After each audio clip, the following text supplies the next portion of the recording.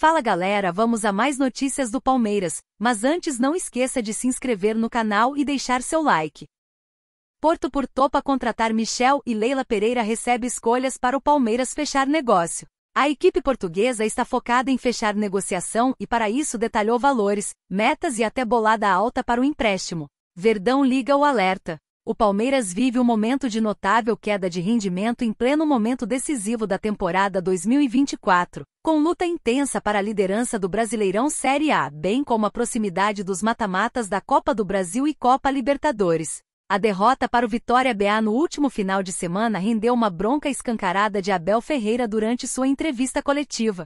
O elenco assimilou e promete responder o treinador mudando de postura dentro de campo. Entretanto, além das preocupações visando a evolução dentro dos gramados, o palestra também volta seus olhos ao mercado, já que tem atletas de seu plantel despertando interesse em outras equipes. Richard Rios é um deles, mas o clube já deixou claro que não vai negociar o meio-campista. Portugueses têm plano detalhado por cria da academia. Porém, há uma cria da academia que foi alvo de uma proposta da Europa. Michel, zagueiro que recentemente renovou seu contrato com o maior campeão do Brasil e pode deixar as Alamedas rumo ao Porto, do Portugal. Segundo a apuração do portal Nosso Palestra, a oferta chegou às mãos de Leila Pereira com detalhes que apontam opções de escolha para o Palmeiras negociar. O Porto quer um empréstimo do defensor até junho de 2025, depositando uma taxa de 100 mil euros, algo em torno de 613 mil reais, para o Verdão ceder sua cria. Além disso, a equipe portuguesa está disposta a bancar a compra de parte dos direitos econômicos.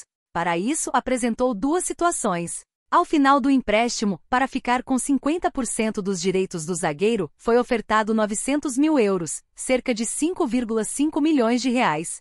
Vale lembrar que tal molde aponta para a obrigação de compra caso Michel atue, no mínimo, 45 minutos em cinco partidas da equipe principal. Europa de olho em Michel. Outra possibilidade é a compra de 40% por 500 mil euros, cerca de 3 milhões de reais. Neste caso, a negociação em definitivo vira obrigação se o zagueiro atuar em 10 partidas na equipe principal. O vínculo da cria com o palestra vai até o final de 2028.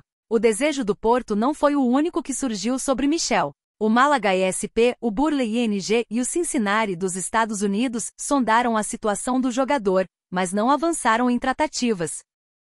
Pela Copa do Brasil, Rafael Veiga mira manter fama de carrasco palmeirense do Flamengo. Meia do Verdão já balançou a rede em várias oportunidades contra o clube do Ninho do Urubu. Veiga e a relação com o Fla. Talvez o momento mais esperado das oitavas de final da Copa do Brasil aconteça na noite desta quarta-feira, 31. No Maracanã, Flamengo e Palmeiras vão fazer o jogo de ida das oitavas de final. Com o confronto sorteado para acontecer já nessa etapa da competição, grande parte dos torcedores do palestra não curtiu o fato de encarar o Mengão de forma tão precoce. Todavia, os palmeirenses contam com uma carta na manga. Afinal, por mais que possua poucas vitórias no retrospecto recente, o Alviverde não só venceu o confronto mais importante de todos, final da Libertadores de 2021, como conta com um verdadeiro carrasco do mais querido. Trata-se de Rafael Veiga, meia que carrega marcas contundentes diante do Fla. No geral, ele já atuou 18 vezes contra o Mengo, com 7 gols anotados nos confrontos, mas apenas 4 triunfos. Detalhes sobre o momento de Veiga. Dito isso, mesmo com todo o retrospecto favorável diante do time da Gávea, Veiga não vive seu melhor momento com a camisa do Verdão e vem sofrendo algumas críticas durante o ano. Mesmo assim, o camisa 23 segue mantendo números contundentes na temporada.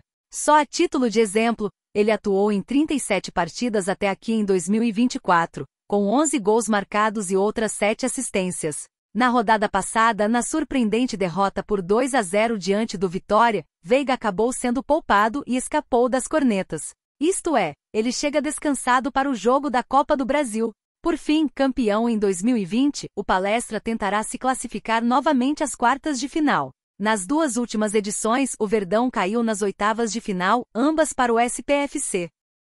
Abel Ferreira monta estratégia controversa para Flamengo X Palmeiras, fechado para caramba. Danilo Lavieri, setorista do Verdão, afirmou em live no UOL que o técnico português vai jogar na defensiva. Flamengo X Palmeiras, Abel Ferreira retranca. O Palmeiras tem desfalques e existem muitas dúvidas em relação ao time que entrará em campo contra o Flamengo, nesta quarta-feira, 31, às 20 horas de Brasília, pelo jogo de ida das oitavas de final da Copa do Brasil. Danilo Lavieri, setorista do Verdão, afirmou em live no UOL que o técnico português vai jogar na defensiva. Segundo ele apurou, o time deve ir bem fechado no Maracanã para garantir ao menos um empate. As pessoas com quem eu conversei me disseram que o Palmeiras vai jogar fechado para caramba. Vai ser um time bem defensivo. O Palmeiras treinou hoje, mas o time oficial só amanhã de manhã, disse ele na última terça-feira, 30. Notícias do Palmeiras. A estratégia do treinador se dá pela falta de algumas peças importantes no plantel.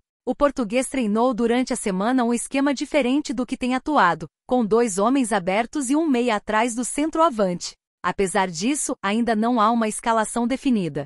Mas todos com quem conversei confirmam isso. Vai ser um time bem defensivo, encerrou Lavieri, que deixou claro que entende que haverá uma mudança na ofensividade do time para pegar o Flamengo. O zagueiro Murilo e o meia-atacante Estevão não viajaram com o grupo para o Rio de Janeiro.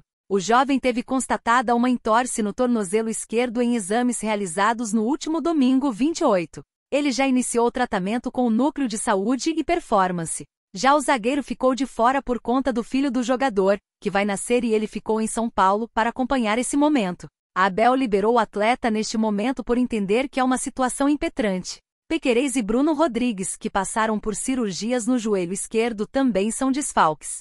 O meia Maurício, que já jogou na Copa do Brasil pelo Inter, é mais uma baixa para o confronto.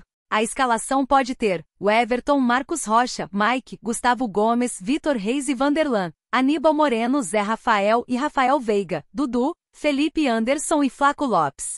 No entanto, uma dobra de laterais ou mais um volante no meio foram testados.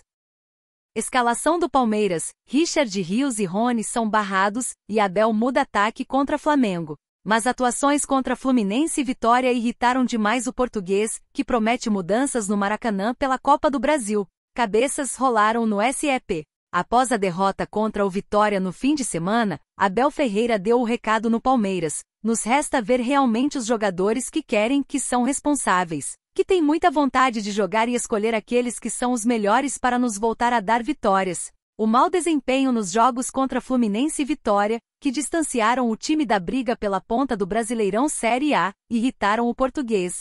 No vestiário, broncas a todos, incluindo recados ácidos a Richard Rios e Gabriel Menino. O Bolavic Brasil apurou que a conversa realmente influenciou na escalação contra o Flamengo, nesta quarta 31 pela Copa do Brasil. De acordo com nossa reportagem, Richard Rios e Gabriel Menino são dois que iniciarão no banco a partida no Maracanã, de ida das oitavas de final do torneio. Quem sai do time? Criticado a beça pela falta de pontaria, Rony também deixa o time titular. O camisa 10 tem sido bastante alfinetado nas redes sociais pelas mais escolhas no momento de definição das jogadas. Ele, todavia, tem participado de todas as partidas há quase dois anos, seja como titular ou suplente. Ainda assim, Abel deve confirmar a linha de frente com Felipe Anderson, Dudu e Flaco Lopes. Resta saber se o português vai inverter os atacantes, já que o camisa 7 se acostumou a atuar melhor na esquerda, enquanto que Felipe jogou de ponta direita por muitos anos na Lazio. No meio de campo, Aníbal Moreno deve fazer dupla com Zé Rafael. O camisa 8 é outro que não goza das melhores condições desde que retornou de lesão. Ainda assim, foi escolhido pela hierarquia de Abel e também por Rios ter perdido as chances na volta da Copa América. Na lateral direita, a tendência é que Abel entre novamente com Marcos Rocha. Mike e Gia, que estreou contra o Vitória, devem esperar no banco de suplentes. Murilo, pelo nascimento do filho, desfalca o time e por isso, Vitor Reis entra junto de Gustavo Gomes. A escalação do Palmeiras para enfrentar o Flamengo deve ser o Everton, Marcos Rocha, Gustavo Gomes, Vitor Reis e Vanderlan, Aníbal Moreno, Zé Rafael e Rafael Veiga, Dudu Felipe Anderson e Flaco Lopes. Gabigol tem proposta do Palmeiras em mãos em meio a confronto do Flamengo. Gabigol está na reta final de contrato com o Rubro Negro e recusou a última proposta de renovação. Flamengo X Palmeiras, Gabigol em foco. A decisão das oitavas de final da Copa do Brasil entre Palmeiras e Flamengo, que começa nesta quarta-feira, 31, a partir das 20 horas de Brasília, no Maracanã. Os holofotes vão estar também no atacante Gabigol. O confronto de mata-mata coloca o camisa 99 diante do time que deseja contratá-lo para a próxima temporada. Nas últimas horas, houve polêmica de Gabigol com Benja sobre um acerto para 2025. Mesmo sem ter assinado, o atleta tem uma oferta da diretoria Alviverde em mãos para ser o grande reforço do time a partir da próxima temporada. Segundo a Itatiaia, o palestra confirma, mesmo com a recusa do staff do atacante. Notícias do Flamengo sobre contrato de Gabigol. Gabigol está na reta final de contrato com o rubro-negro e recusou a última proposta de renovação. O ídolo rubro-negro receberia um aumento de 50% dos seus ganhos mensais e estenderia seu vínculo por mais um ano. A alegação do seu empresário é de que a oferta mostra que o clube não quer manter o centroavante. Os vencimentos estão compatíveis, mas o jogador gostaria de um vínculo mais longo com o Mengão. Ele já pode assinar um acordo com outra equipe para sair de graça no início de 2025. O Palmeiras gostaria de ter o atacante, que Abel morre de amores desde que chegou ao futebol brasileiro e aprovaria o movimento. O Palmeiras entregou ao staff do atacante uma oferta de pré-contrato no dia 8 deste mês e não deu prazo para retorno. Hoje, ele ainda tem em mãos a oferta e não vai assinar até o fim desta temporada. O time palestrino chegou a propor uma troca do atacante Dudu para ter Gabigol de imediato, mas esse modelo de negócio não avançou. Dudu vetou e seguiu no Alviverde brigando por espaço no time titular. Depois de virar alvo do Palmeiras, o centroavante voltou a ganhar mais espaço no Flamengo. Mesmo Tite dando total preferência para Pedro entre os titulares, o camisa 99 se tornou importante. Ele entrou em campo nas últimas quatro partidas, saindo do banco de reservas e anotando um gol e uma assistência nesse recorte. Para o confronto, Gabriel Barbosa começará no banco de reservas com Tite.